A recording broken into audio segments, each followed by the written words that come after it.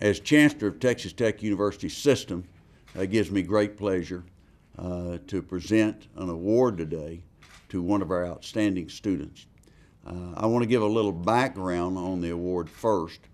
And uh, this award will be the Robin J. Copeland Scholarship in Science and International Diplomacy. Um, Robin Copeland was uh, uh, a person that had a lot of roots in West Texas. Uh, her dad, Jack Copeland, uh, was from Dimmitt. Her grandparents, Floyd and Nell Copeland, uh, lived in Dimmitt all their lives. And um, Robin was an unusual young lady. I went to SMU, and uh, she was uh, fluent in seven languages. Her dad and I from Dimmitt, we were fluent in uh, one, and that was West Texan language. But she was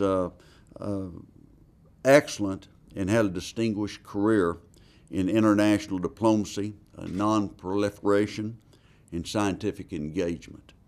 And her work with the U.S. Department of Energy and the U.S. Department of State and various embassies and governments throughout the uh, world uh, was very good. Uh, I had a chance to visit with her once on the phone, and she bragged about uh, Ron Chesser and the people from Texas Tech. And she said they are the best. And they were working on projects in Iraq, and uh, that uh, she uh, thought highly of the people at Texas Tech. And I had the opportunity to visit with their leadership at Texas Tech in this area, and they thought the same of Robin Copeland. Um, you know, Texas Tech wants to recognize uh, academic qualities uh, form the foundation for sound leadership in uh, subjects that are critical to maintaining today's order in a very complex world.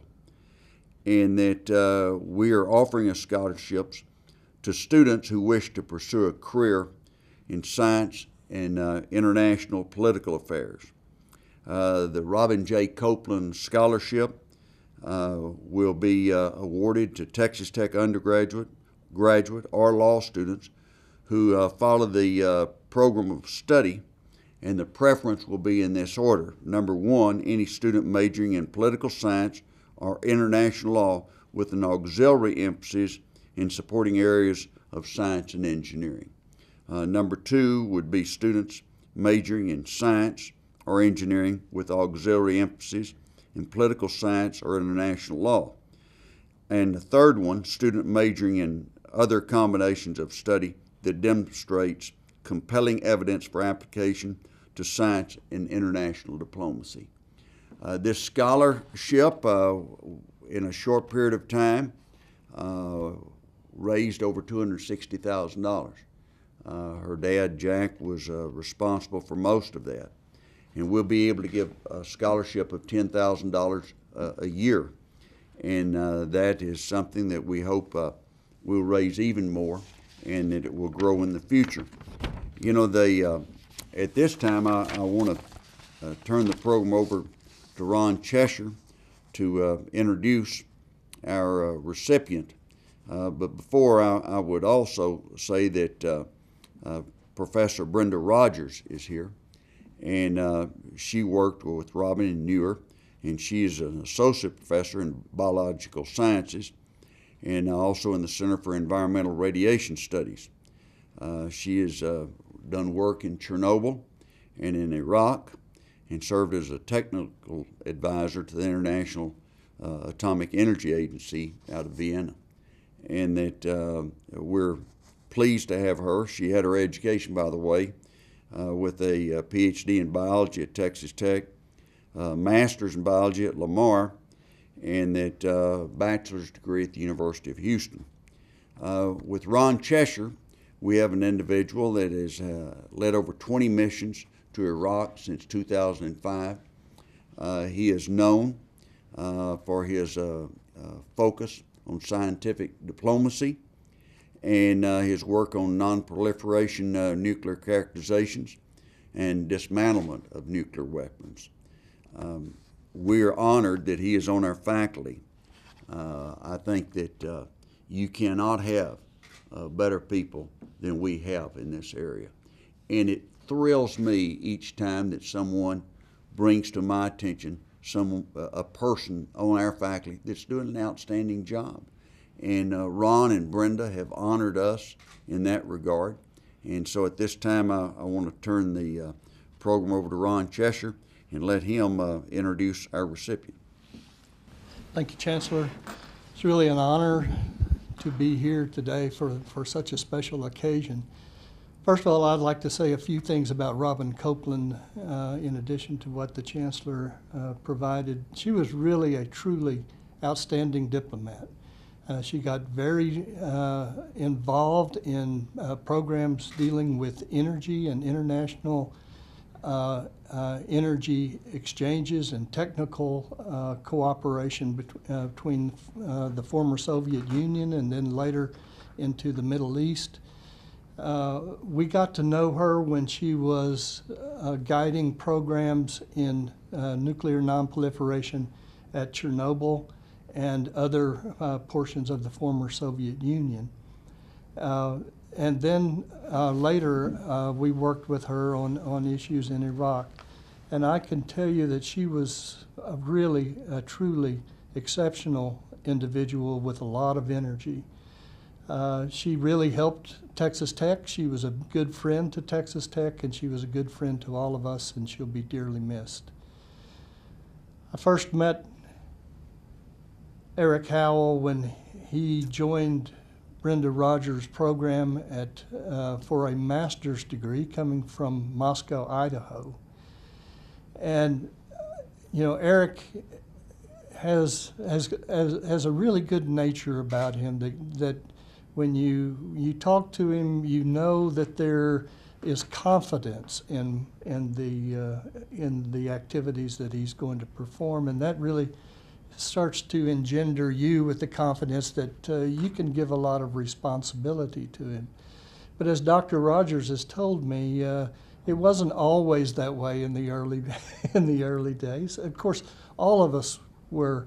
Uh, I, uh, I, I know uh, personal stories about uh, beginning uh, um, in my program where I had a lot of enthusiasm but a little bit of experience. So I, it was clearly, uh, it was clear to us that really the best thing that you could give someone like Eric Howell would be experience. And, uh, and we felt like the, the, the education would certainly be taken care of. After his master's degree, we, uh, Texas Tech conducted a very special program in Ukraine called the Train and Engage program where Dr. Rogers, Dr. Carl Phillips, and I uh, sponsored a program where 28 Iraqis were brought from Iraq to learn to characterize nuclear material in a real radioactive environment. It was a very special program. It was a month long program, and Eric uh, and uh, Dr. Rogers ran the laboratory training session uh, during that time. And this is the time that Eric really stood out to me in that uh, uh, he was a very good teacher, very patient teacher, but also just the knowledge of laboratory procedures and standard operating practices. And the most important thing was quality control. And it's, it's really unusual to find a young colleague that has a firm grip on quality control and how to convey that message to an international group that has had little experience in that area. So the trainees from that program went immediately back to Iraq, and we worked with them on uh, on using the skills that they had learned to start the dismantlement program for nuclear facilities in Iraq. Eric again surprised us by saying, "I want to go to Iraq." Now, this was a difficult decision because, as you know, Iraq is a, is a somewhat tumultuous place and uh, security is always an issue. But Eric was steadfast in his want, his wish to, to become involved in these international programs and get more involved in the diplomatic uh, experience that he felt would guide his career. Over the last uh, I think it is five or six years now, Eric has accompanied us on 10 different missions to Iraq. That's truly exceptional. He's been out in the, in the high desert with us, using a tent as a laboratory uh, when there was not enough weeds to go around to feed a goat uh, for the last 50 miles. Uh, in temperatures that, that surpassed at times 130 degrees. Uh, but Eric was always the person that we could turn to, that we could count on to be the one that was well organized, that had everything under control. And then Eric got a very special opportunity. He impressed the people at the U.S. Department of State and at the International Atomic Energy uh, Agency to such a degree that they offered him a one year fellowship to work on, uh, to guide Iraq's uh, technical uh, dismantlement program. And that's where he has been for the last year while continuing to be enrolled in Texas Tech and come back to finish his uh, degree under Dr. Rogers' guidance. This has been a, a, truly exceptional record for a graduate student, and I challenge you to find anyone at his level in the United States that has a, a record that equals his. I've been a professor for 32 years, and I, I will swear upon a Bible that Eric Howell is the very best student that I have encountered in my 32 years experience as being a professor. He's very deserving of this, of this award, and he is a truly exceptional ambassador for the Robin J. Copeland Award at, offered through Texas Tech University. Thank you. Thank you.